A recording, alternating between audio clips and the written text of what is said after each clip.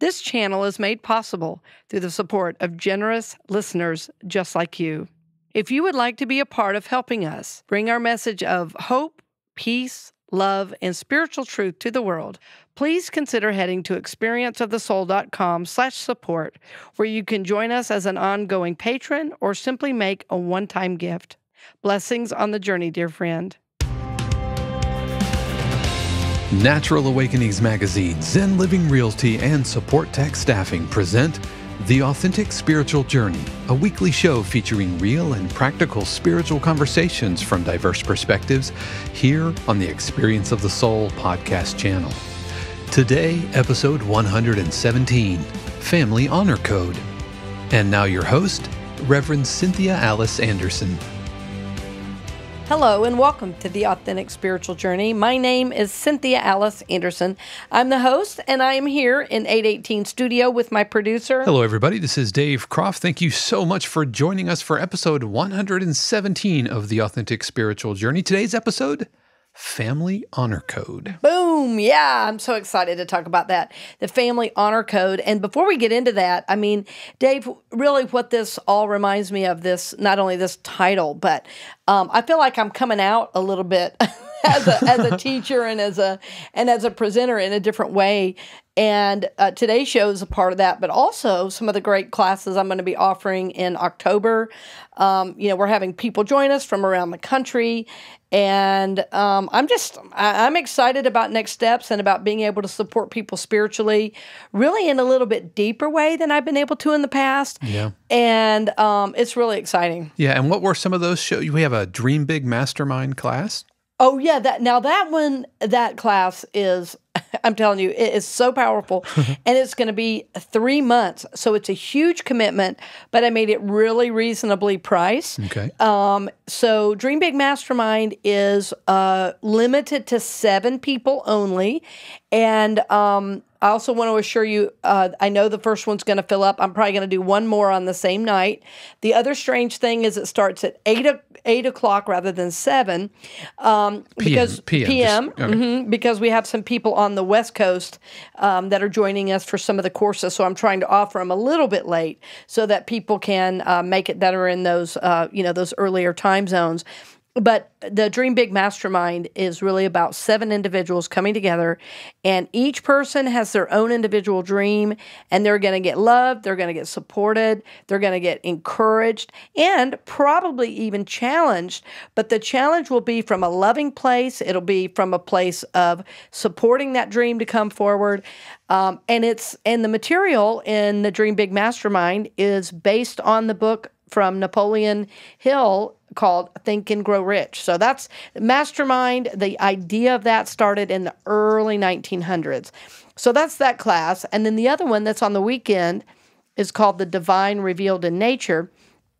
And that one's going to be uh, very different because it's going to be real inward. It's going to be about studying what comes to us, how these how these um, universal archetypal archetypal patterns that we find in nature have have tremendous meaning, have tremendous impact in our lives, and actually are there to help us. So both both courses, I think, are going to really support people on their journey in real different ways. And uh, are there any prerequisites? Do you need to have taken any of your classes beforehand to No. attend these? No, not on either of these. Not on either of these. You you can just have never taken a course and come into it. But what I do want you to know is, uh, all my classes they require participation and there is going to be engagement. So these aren't classes where you just sit back and watch. right. You could you could just watch YouTube if you want. to. Yeah, just just watch an old show if you want to exactly. do that. Right, right. but this right. is also so they'll be asked to you know participate in discussions or, Oh yeah, yeah, yeah. And then at the end, uh, well, the divine revealed in nature, that course at the very end, we're even going to do a walkabout. We're going to go to a beautiful state park here. Oh, wow. And and see, and so people even joining us long distance, we're going to encourage them too to to go and do a walkabout, some kind of little mini hike where they live, and bring that back to the group as well. So it'll be a beautiful uh, connection with God in, through, and as nature. And then seeing the deeper messages for us. So Okay, and, Yeah. and so so we'll have links to all of this uh, in your in the show notes for episode 117. And I you know I, and I think it's it's really important that um, especially as you are going through this transition Mm-hmm. of coming out of you know full time. I think you called it like pulpit ministry, but that Yeah. doesn't mean your ministry is stopping. No, as a matter of fact, how I view it is my ministry is expanding, and I'll always have a soft uh, space in my heart for CCU, and I'll probably always support the ministry in various ways. Um, one of those, uh, uh, you know, being through supporting their next steps and supporting the individuals there, but but um, I was just called really to serve a larger number of people. And so I- I can't do that with also doing a pulpit ministry. And so I feel like, in a way, CCU uh, nurtured me into who I am today, and I nurtured them. And so I, I think we have a beautiful, uh, uh, even though I'm leaving and it's a parting of ways, it's very positive on both sides, I believe.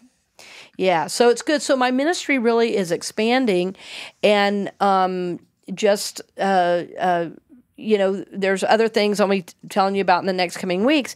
I mean, my schedule in October is so full. I'm speaking at Unity of New York.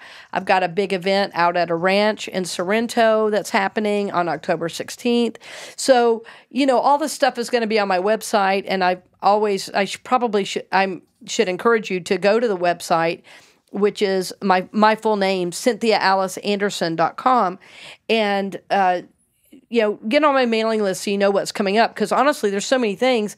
If I talked about them on the show, I mean, here we are five minutes in. I've not started the topic yet, and and I'm ready to go with this topic. So yeah, just check that out yourself if you want to get on the mailing list. Go ahead.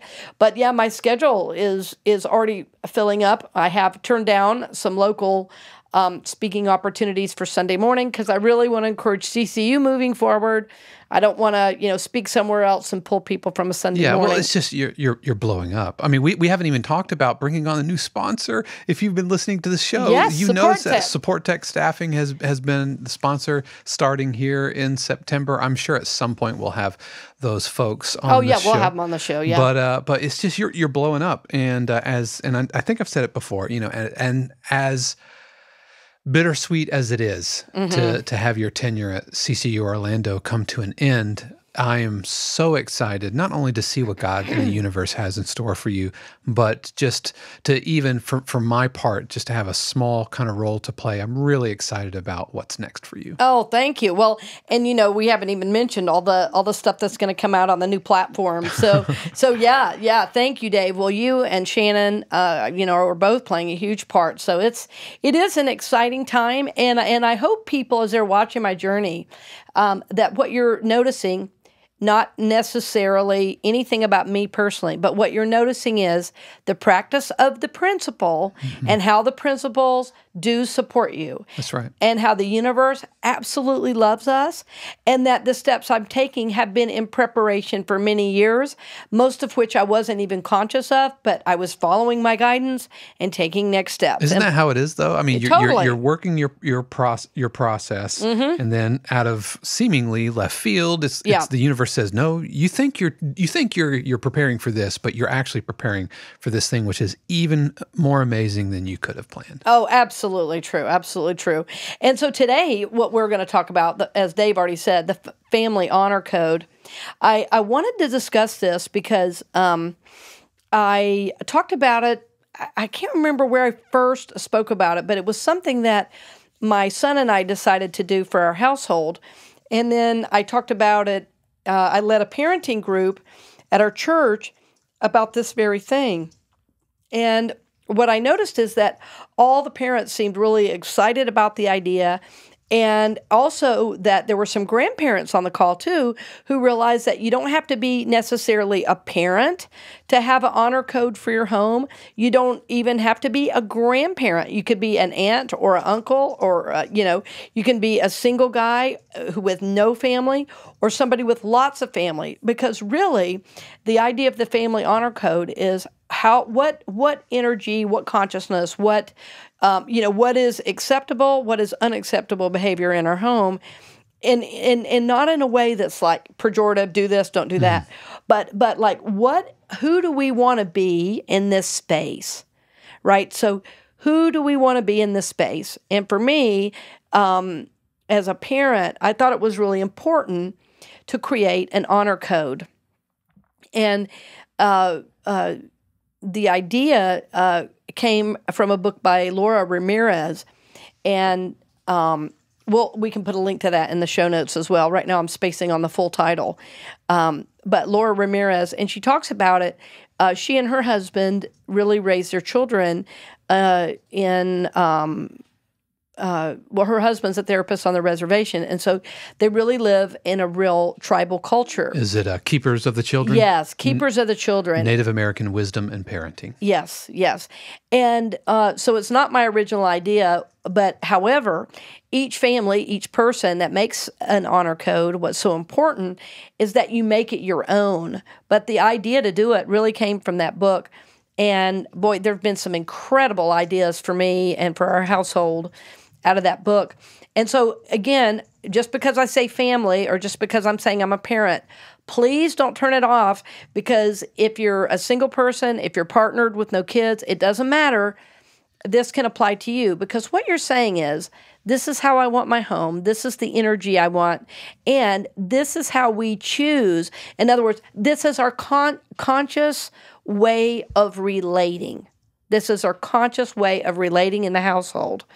And it would be wonderful for any couple uh, also to, to do this. So uh, there's there's a piece we haven't completed because we, we want to from this make a family crest and we want to get this printed. Uh, my son is doing the artwork for it, and hmm, we and we cool. yeah, we came up with the with the honor code together. And before I get even get into the actual code, what I want to uh, tell you about it um, that I think is real important is this is not a list of rules with one person enforcing and one person in trouble if they don't do it. So rules means the parent's in charge and the kid has to do it and will do, has to do it out of fear. Right? So that's what rules are.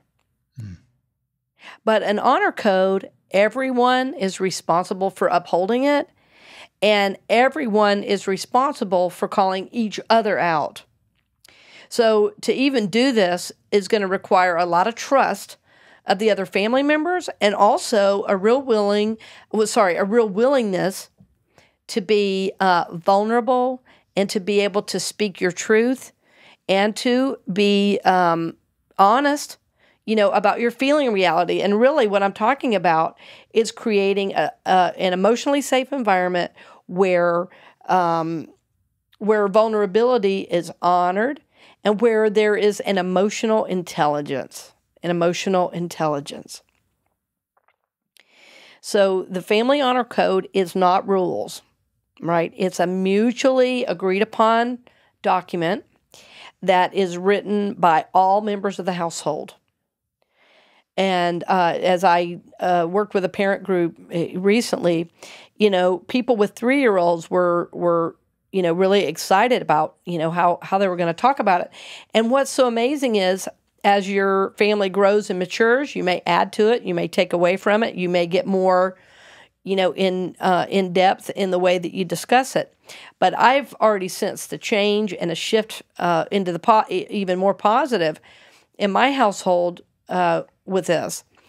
Uh, it's also made me, as the parent, even more aware of am I sometimes expecting my child to do things that I'm not doing?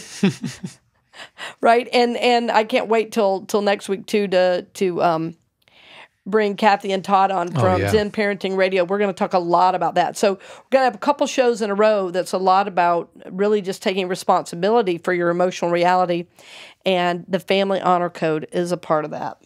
Yeah, it's uh, it feels almost like a like a family constitution where everybody has you know kind of representation and everybody gets to chime in on it, and it's not just whether it's uh, whether it's parents to children or you know I'm thinking about you know Shannon and I having her folks living with us, and may, I wish oh, I yes. could go back in back in time mm. three years ago and you know.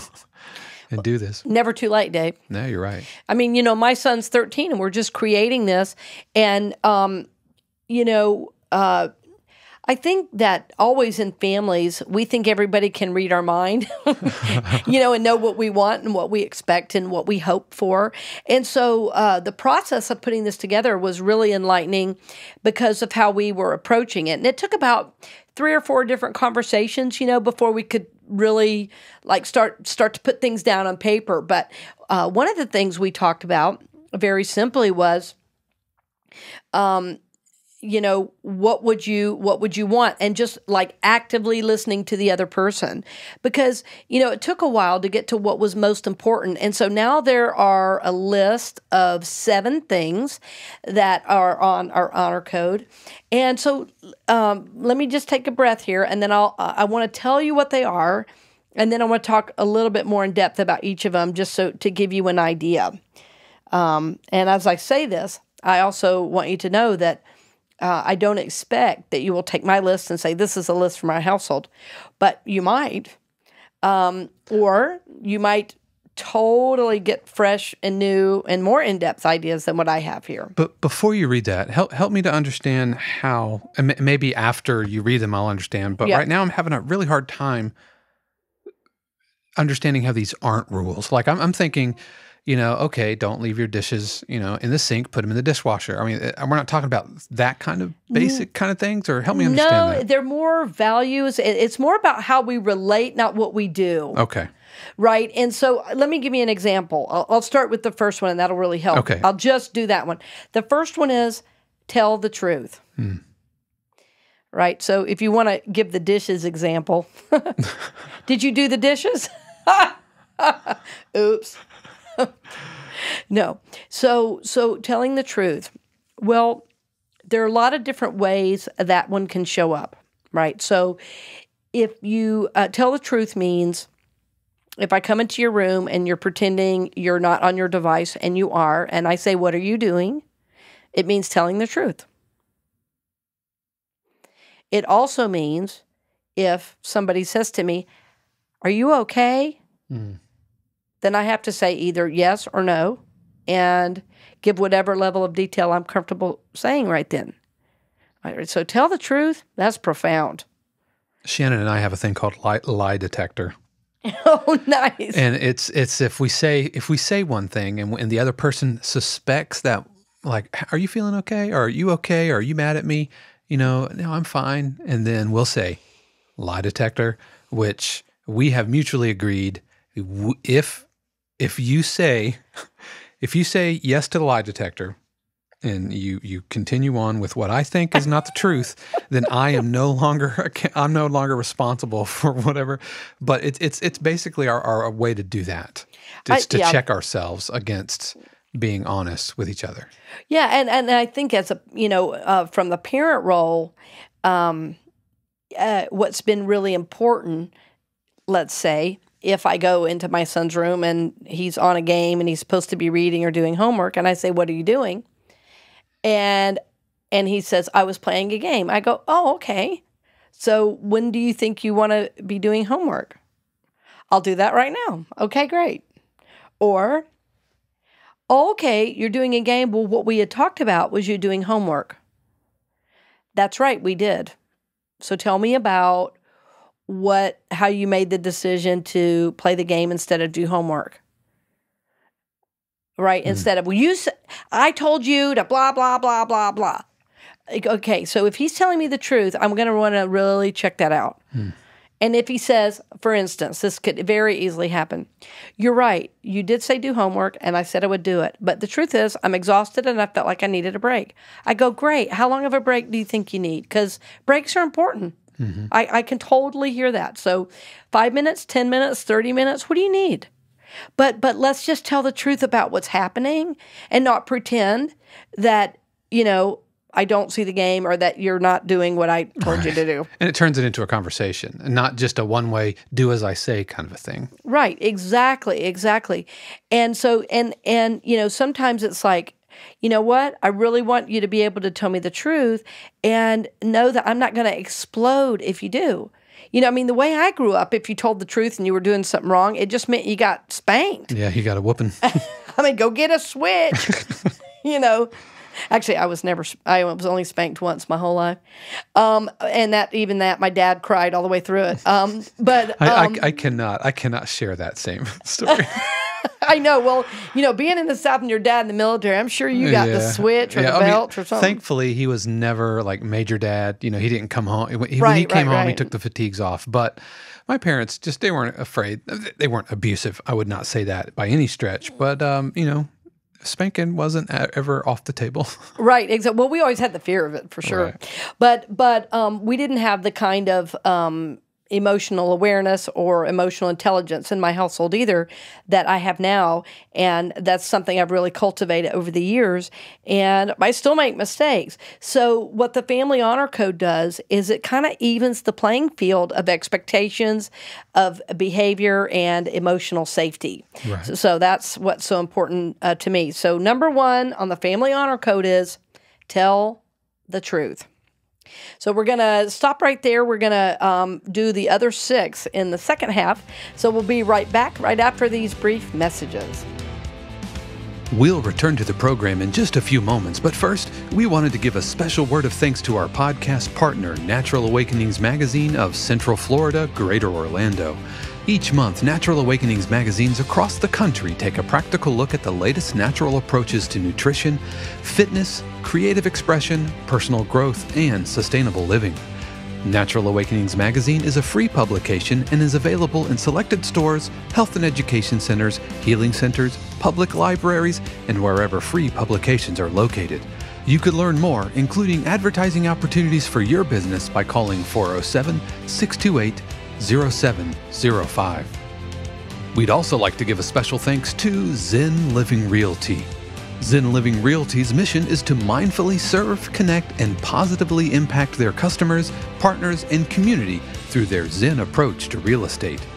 Their vision is to be the most trusted real estate brokerage in the Central Florida area. You can reach Zen Living Realty at zenlivingrealty.com or by calling 407 800 2717. And finally, we'd also like to give a special thanks to Supportek Staffing. Supportek Staffing is an innovative staffing agency built on the principle of caring about their employers and employees as they navigate these new workforce and workplace challenges. If you're an employer, they want to be your human resources partner and help with the changes needed during the pandemic. If you're a candidate, they want to become your lifelong career agent to help you grow into your fullest potential. Supportek prioritizes support over volume, integrity over profits, and will treat your business and your career as if it was their own. You can learn more at supportekstaffing.com. That's S U P P O R T E K staffing.com. And now we return you to this week's episode of The Authentic Spiritual Journey with your host, Reverend Cynthia Alice Anderson. Welcome back. And again, we're so grateful to all our sponsors, all the individuals too who give $2 to $25 to $100. And our sponsors really have given big for this spot. So we just thank them and bless them. And we hope as our listeners that you'll, um, you know, seek them out. Um, I've heard wonderful things from all of our sponsors that um, that you know supporting the show has definitely been good for business, and we love that because we love supporting people who support us that are you know individuals on the spiritual journeys. So. Yeah, and you know, every week we we give a shout out to our our angel partners, you know, who who donate uh, twenty five dollars or more a month. But I want to I want to give a special shout out to Rick Kilby, who has been with us since nearly nearly the beginning. And um, although he doesn't get the the shout out just because of, but but he's been faithfully giving every week since 2018. And so, Rick, we see you, we recognize you, and uh, we thank you so much for your your continued support of the channel. Thank you so much. Yes, and and we're going to have Rick on. Uh, we just need to work out the day. He's got a brand new book coming out about Florida's healing waters. Oh, wow. And the research he's done is amazing, and um, you know, water is so spiritual. So we we definitely want to have Rick on the show as well. I don't think I even told you mm-hmm. that yet. So That's fantastic. yeah. So so the family honor code number one is tell the truth. We talked a little bit about that one. Number two, give unconditional love. Hmm. Wow. I'll tell you, if all we did was, was is those two, that really probably would be enough. But uh, give unconditional love, man. That that is huge. That's like if somebody can't sleep, they need help and support, and it's midnight, or it means I need help on my violin music, or you know, um, I had a rough day at school, or I had a rough day at the office. It means listening. It means supporting. Giving unconditional love is so powerful. And to me, that means I have no expectations of what I'm getting from you. I'm just going to give because I love you. I'm just going to give because you are and because I care for you deeply, right? So, giving unconditional love is different from saying I love you. It's even different from a smile or a handshake or a hug. It goes way beyond the physical, and it's an energy and it is also an action. Giving unconditional love. Very, very important. And it requires a tremendous amount of um, emotional awareness and a releasing of, of like um, a to do list. you know, it's like uh, one of the things I've really worked through as a parent is how the different pace that my son operates than I do and releasing those expectations that he's going to move my speed because almost nobody moves my speed for one thing but but just loving him who with how he is and who he is it's giving unconditional love. It's like not expecting him to be something other than what he is and that doesn't mean he doesn't have jobs to do around the house. It doesn't mean, you know, that he doesn't pick up his room. It's nothing like that. But it's that I have an understanding of how to work with um, what does need to get done or or how, you know, I can support him where he is. So um, it's so important to give unconditional love in your home. So important. Hmm. And um, what's so amazing about that is um, you know, kids do what they have seen modeled. And uh, a couple months ago, or yeah, a couple months ago, we were uh, at my mom's. My mom is, uh, you know, has been on hospice, and my son, who is thirteen, um, stayed up himself for like a couple hours every night to watch my mom on his own. Hmm. And he didn't do that because anybody asked. He did it because he has seen unconditional love be modeled, and he absolutely was uh, embodying that beautiful unconditional love with her. I mean, it was so sweet. And as a matter of fact, I tried to get him to go to bed, and he said no. I said, "Oh, well, tell me what's going on. Why? Why no?" I said, "Because you never tell me no. What's going on? I am supposed to sit up with Nanny." And I said, okay. He said, it's mine to do, and I'm to do it alone. Well, I'm not going to argue with that. I could feel the love in his statement. Mm. Beautiful. And then I'll tell you, my mom with Alzheimer's, even on morphine, before we left, she she opened her eyes and looked at him and said, "Thank you." Hmm. Ah, beautiful. And that's what giving unconditional love in your home hmm. means. So he just absolutely gave that. And I know it's because he's been surrounded with love, he's been supported with love, he knows what love is. So, number one, tell the truth. Number two, give unconditional love. And, um, well, these aren't really numbered, but the third one is talk it out. Talk it out. Yeah, that's that's a tough one in our house. Yeah. because yeah, it, it's it's hard to even find a common ground. Sometimes, yes, that can be hard know. when you have generational differences. And, yeah, and you, when you can't even agree on what truth is or or something, you know, then uh, it can be hard to talk it out. So the uh, there's just kind of this mutually agreed upon ceasefire. well, that's kind of what the unconditional love piece yeah, is. Yep. Because you know, if we're trying to force people into our viewpoint, that's not loving. right? And if and if so if you can't talk it out, it's you go into a space of acceptance really. Mm-hmm. Because you know where they are. In some way they may or may not know where you are, but if you're really unconditionally loving, that's okay at some point. Yeah. Yeah. Yeah. No, no, you're right. I mean, there's, uh, although we don't agree, you know, politically, if if, if something were to happen, I mean, we're there. We're not. We're not. Well, Oh, yeah. He's a Trump supporter. I'm not gonna call the ambulance. You know, it's nothing like that. No, of course not. of course not. And and but Dave, you make a, a good point. And so all of these, like I say, and these are ours. And and in our in our household, we have very dynamic um, expressions. Uh, we have a lot of discussions. And as a matter of fact, uh, in my time of transition, I was thinking of possibly, um, I was thinking of possibly uh, uh, renting something, you know, short term, till I could figure it out. And I thought, oh, there's no way I could live in an apartment. We're just too loud. Right. um, but we have a real dynamic expression, and I don't mean we yell because that's further down the list. But I mean, we play music, we talk, we laugh. You know, we're kind of loud.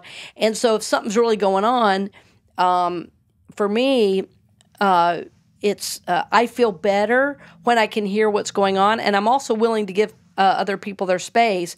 But um, like if something's not being talked about, then um, uh, I don't know if you've ever heard this statement, Dave. It- I heard it in recovery. It's uh, secrets bring sickness, and and I grew up around a lot of family secrets, and so talking it out means there's no secret. Talking it out means um, I'm going to say how I feel, and there's room for that. Talking it out means, hey, we're going to go to this event, and uh, if somebody's there, you know, we're we're not going to be around them, and here's why. Um, so talk it out. It can also be when um, there is, you know, a moment of misunderstanding, and rather than getting mad and stomping off, we say, "Well, wait a minute. Can we can we just come back to this and talk this out? Because something's happening here, and I, you know."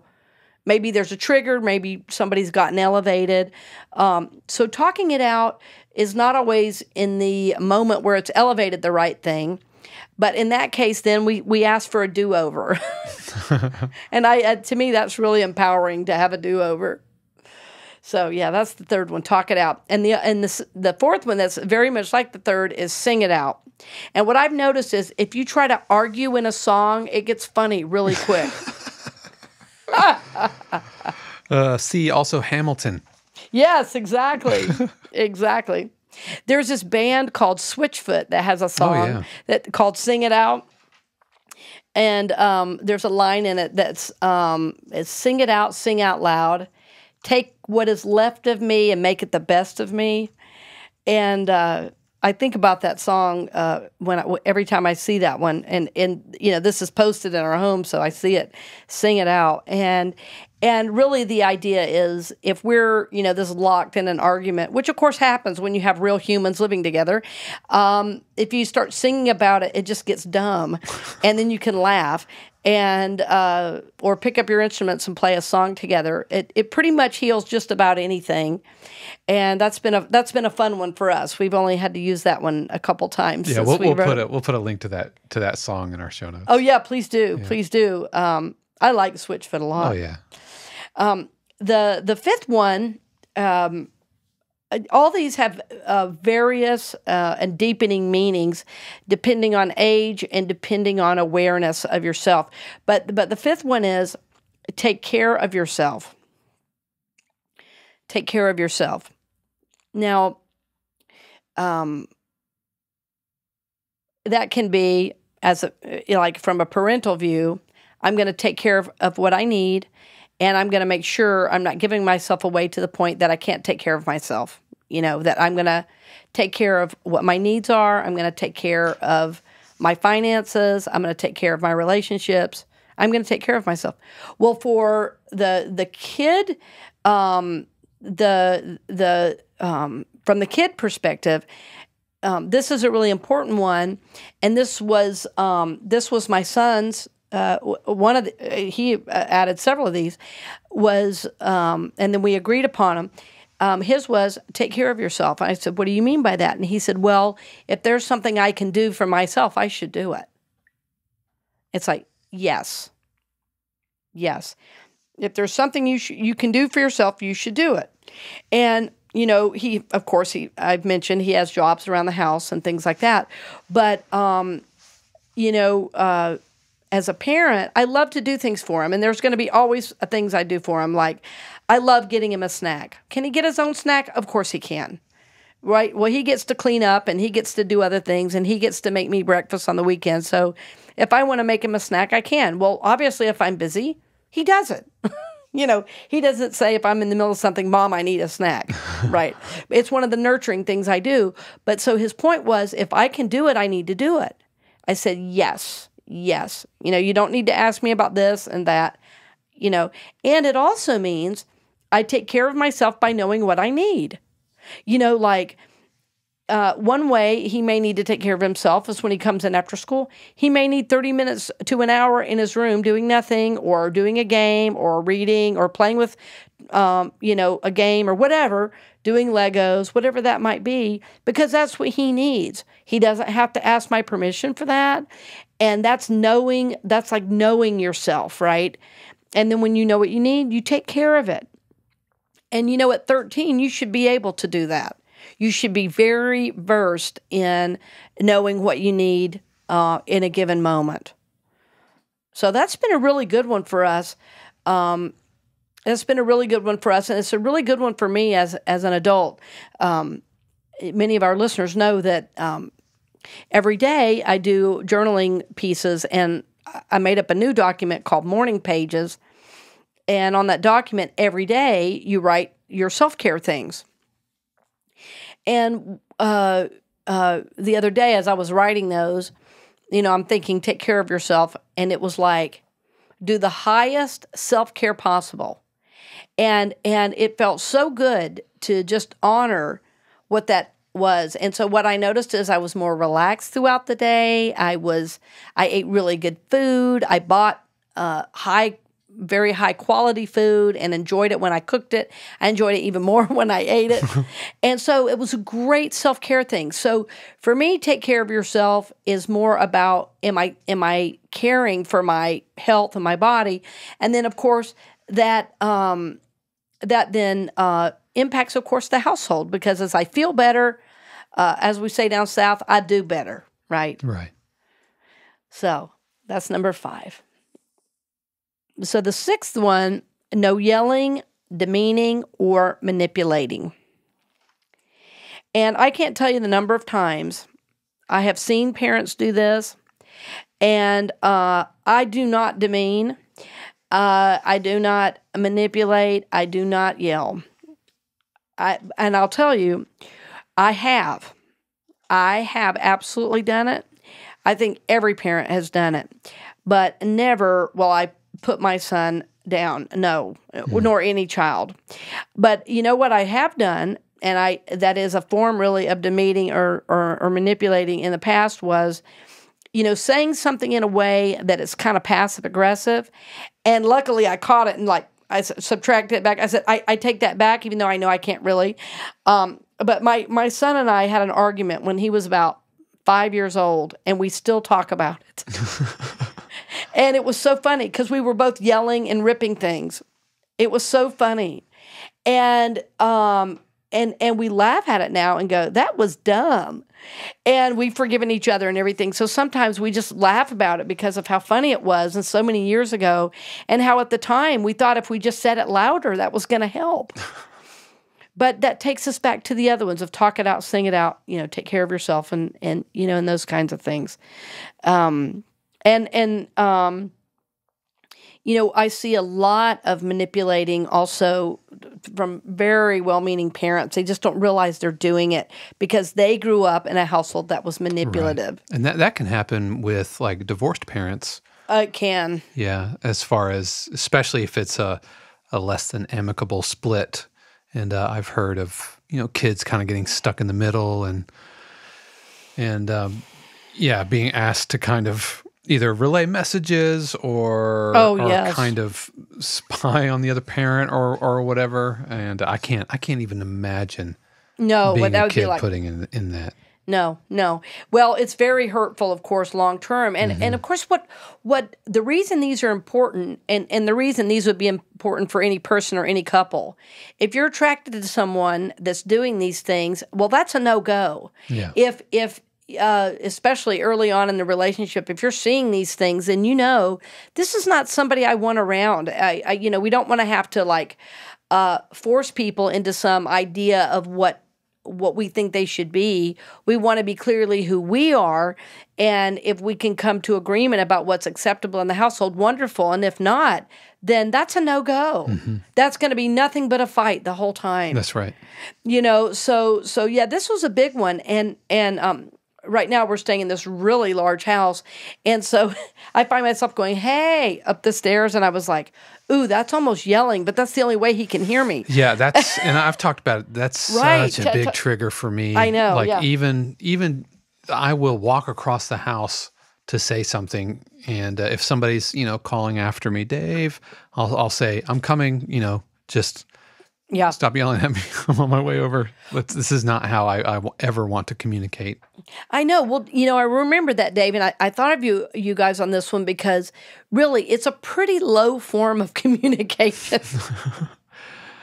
yeah. And, and again, not even when it's not in, a, in an anger place, right. I just, I do not respond well to it. And it immediately shuts me down. And, and, if you're yelling at me and wanting something from me, even if you're not angry, but you're just wanting to tell me something that's maybe happening going on in the house or something, then I'm already on the defensive about it and I'm not mm-hmm. receptive to whatever you're about to tell me. I think that's a great self awareness, yeah. you know, um, because uh, it's really okay to have boundaries around what you want in your own home. Mm-hmm. Um, and I, I think that's what's so great about, you know, this whole topic today is that it's not about rules. It's about this is who I am and this is what really works for me in my home. And so this was like an honor code because it's it's an honor code in that not one person enforces it. We're right. all like you know aware of it. Yeah, that's good. And and the last one is my favorite one really one of my favorites. It's celebrate successes celebrate successes. And so we love to have a party. You know, we love to throw a party, which is like drinking um, like a cranberry juice and eating a chocolate bar or something crazy or something really simple. It's like, let's celebrate. We had a great day. Let's celebrate, you know, you got into Allstate or let's celebrate, you know, whatever. Then, then we love to find reasons to celebrate. And so that brings a lot of joy into the home as well. And um, what I've noticed too uh, over the years as I've, you know, worked with so many people, I've had people reach out recently via email and say, look what I'm doing right now. And I go, awesome. I love to celebrate your success. And so it's it's um, all of these uh, all of these seven things frankly have really had an impact in my business and in every aspect of my personal life because it's like this is really the these are really the things that matter to me. And i love celebrating good news um, especially as a minister i hear a lot of bad news. So i love when when people come to me with their good news. It's like yes awesome. I love that you're in that new job. I love that you're in that new career. I love that you are yeah making more money than you ever dreamed i love that you're living your dreams so yeah these are these are a lot of fun I, and so I'm going to read them all seven down now. And also, as I read them, remember that I'm by no means saying these have to be your code, but they might be ideas and maybe they'll get you going for um, what you might want to um, consider next uh, for your honor code. So here is the Anderson family honor code tell the truth, give unconditional love, talk it out, sing it out Take care of yourself. No yelling, demeaning, or manipulating. And celebrate successes.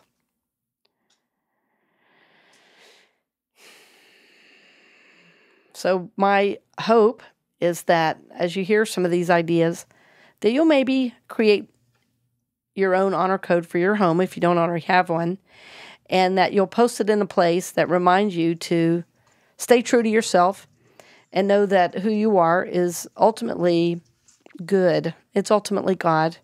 And that the very Spirit of God is alive in this, and that as you grow and mature, your list might grow and change as well. So, we uh, definitely thank you as always for joining us today. And I just am so grateful that you listen and that you feel supported spiritually by our message. And just know we're so honored uh, to support you on the journey that journey of the evolving soul. It is our honor to help you grow, prosper, and evolve. Blessings on the journey, dear friend, and we will see you soon. We hope you've enjoyed this episode of The Authentic Spiritual Journey presented by Natural Awakenings Magazine, Zen Living Realty, and Supportek Staffing. This channel is also made possible through the continued support of our angel patrons, Aggie Payton, Anna Evans, Arlene Meyer, Diana Cox, Leslie Williams, Nora Miles, Sean Kilgore, Susanna Garcia, and Taryn Tucker. If you'd like to support the channel as a patron on an ongoing basis or through a one-time gift, head over to experienceofthesoul.com slash support. The Authentic Spiritual Journey is copyright 2020, Cynthia Alice Anderson, all rights reserved.